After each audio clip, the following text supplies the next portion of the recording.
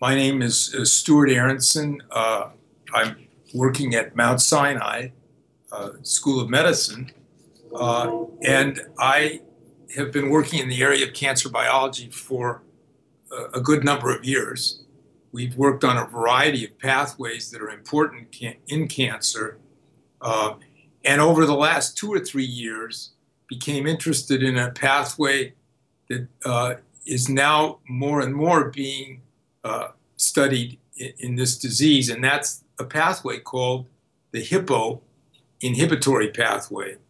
It was first identified in the fly and has been studied uh, in mammalian cells uh, by a number of very good workers.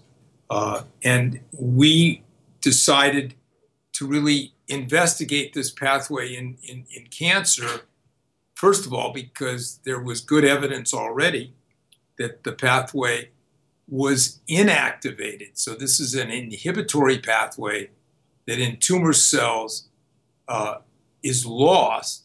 And what happens in response to that is that transcription factors, uh, a pair of transcription factors, one that binds DNA called TEAD or TEAD, and another uh, co-transcription factors called YAP, YAP, or TAZ, TAZ, interact to activate a variety of target genes that can contribute both to cell proliferation, uh, to cell motility, and in other reports, to cell survival, all of which are uh, important uh, in, in, in cells acquiring tumorigenic properties. In its normal uh, situation, this inhibitory pathway apparently is very important in what we call contact inhibition of cell division. That is, when cells come into contact, they get signals through this pathway to stop dividing. When the pathway is lost, that signal is also lost and cells continue to grow in a, in a rather simplistic uh, way of explaining things.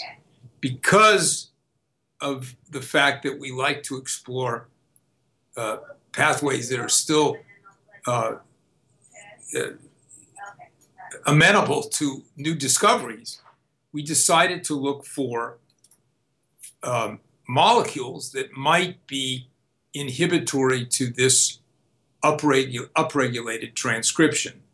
Uh, and in a paper that's titled Angiomotin Stabilization by Tankyrase Inhibitors Antagonizes Constitutive TEAD dependent transcription and proliferation of human tumor cells with hippo pathway core component mutations. That's a long title, but it explains the work and, and basically, through a screen of small molecules, we identified an inhibitor uh, of tankyrases uh, called XAV, XAV 939, that had an ability to inhibit this upregulated transcription. The paper shows that uh, this was really specific to the effects of this inhibitor on this activated transcription, and that it has a profound effect in, in inhibiting the growth of tumor cells with lesions in hippo pathway core components. Uh, and I hope that the paper really shows nicely that this, this is really the case.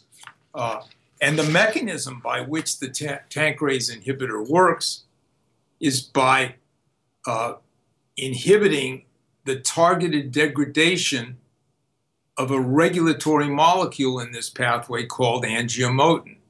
Normally, tankyrases uh, stimulate the degradation of some molecules, like this one called angiomotin, through targeting it for proteasome mediated degradation.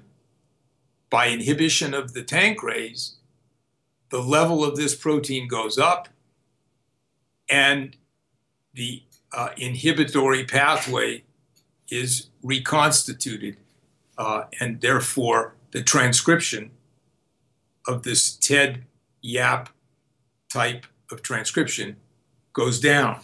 And that is enough to inhibit the growth in a specific manner of tumor cells that have lesions in this uh, in this pathway with respect to these core pathway components. Um, the work is important, we hope, in identifying a new kind of molecule uh, that is inhibitory to the pathway. Uh, another group has also reported similar findings with respect to the mechanism.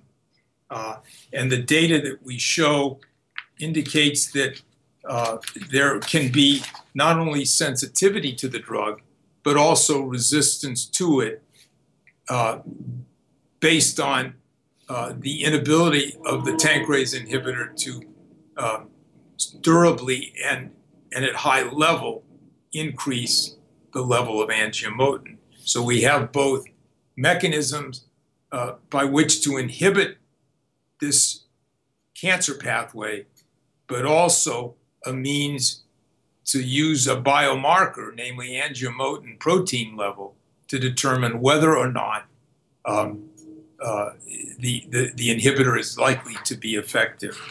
Hopefully, in some period of time, other inhibitors of this nature uh, or, or, or this inhibitor itself can be used to eventually target tumors that have disruption of this inhibitory pathway uh, and therefore have proliferation and growth due to um, this oncogenic pathway. The work of this nature can't be done by one person, but it's really the work, in fact, of particularly two members of our lab, uh, Albino Troilo and Erica Benson, both of whom contributed incredibly important findings uh, to this study uh, and were helped in that by work by Davide Esposito uh, in particular, uh, and in the collaboration that we had with uh,